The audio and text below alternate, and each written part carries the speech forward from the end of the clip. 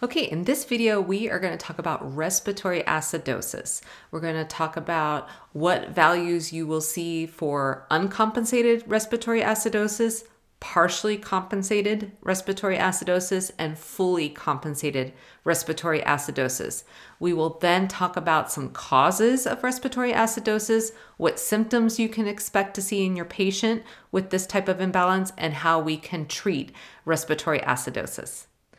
Okay, so when we look at the pH, and if the pH is under 7.35, that means we have acidosis. Remember, that's the first step of our process. So now we're going to figure out who's to blame.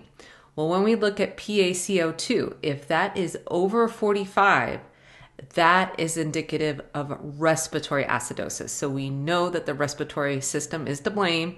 We have respiratory acidosis. Then the next thing we need to check is for compensation.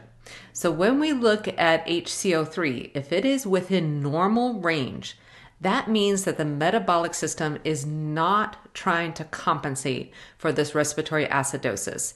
So if we have values that fall within these ranges, we have uncompensated respiratory acidosis.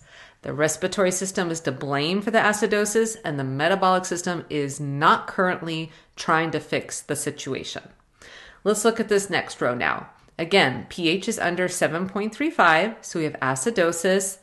Our PaCO2 is over 45, so we have respiratory acidosis. Now let's look at bicarb. If the bicarb level, HCO3, is over 26, that is basic which means that the metabolic system is trying to compensate for this respiratory acidosis.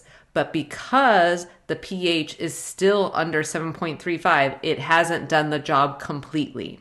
So in this case, we have partially compensated respiratory acidosis, which means that the respiratory system is to blame for the acidosis. The metabolic system is trying to fix the situation, right, by becoming more basic but it hasn't completely fixed the situation because our pH is still out of range. Let's look at the third row now. If the pH is within the normal range, but is a little bit on the acidic side, so if the pH, for example, is 7.35 exactly or 7.36, well, those numbers are within the normal ranges, but they're a little on the acidic side. So if our pH is normal but on the acidic side, and we look here and the PaCO2 levels are over 45, we can guess that we have respiratory acidosis that is likely being compensated. And sure enough, when we look over here at HCO3, it is over 26, which is basic. So in this situation, we have a normal pH, but a little on the acidic side we have the respiratory system that is causing the respiratory acidosis, and we have the metabolic system, which is coming in to save the day by becoming more basic and balancing out that pH. So we have fully compensated respiratory acidosis in this case. The key cause for respiratory acidosis is really hypoventilation.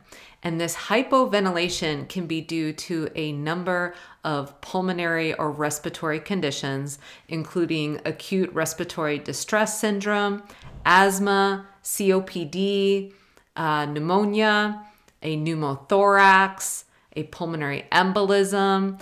If the patient has had some kind of chest trauma and they can't expand their chest to take in a nice deep breath, that can result in uh, respiratory acidosis.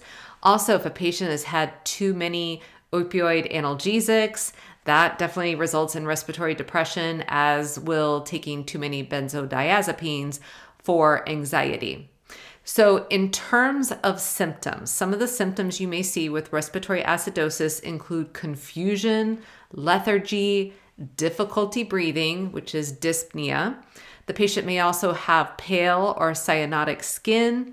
And then with prolonged respiratory acidosis, the patient may have something called polycythemia, which means that they have a, a lot of red blood cells in their blood. So the percentage of red blood cells there is quite high, which results in a high hematocrit level. In addition, with prolonged respiratory acidosis, the patient may end up with pulmonary hypertension or heart failure as well. In terms of treatment, we can provide the patient with oxygen. We can also give them bronchodilators for obstructive airway diseases um, such as COPD or or asthma. So we can give them bronchodilator to help expand that airway. We can also give naloxone for an opioid uh, overdose, and we can give flumazenil for a benzodiazepine overdose. And then lastly, for really serious conditions, we can um, do mechanical ventilation as well. Okay, so that's it for respiratory acidosis. In my next video, we will cover respiratory alkalosis and go over all of the same information for that condition.